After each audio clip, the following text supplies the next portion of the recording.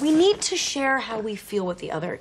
We need like a moment, right? A moment like where the prince and princess pledge their troth.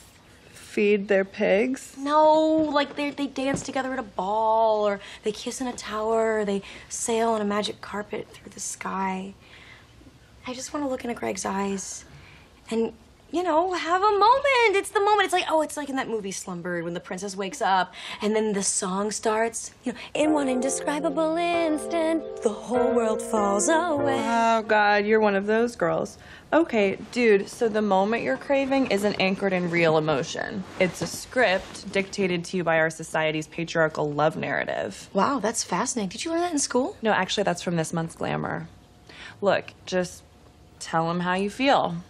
Say, dude, I dig you, I got the feels. I mean, angels don't have to be singing or some crap.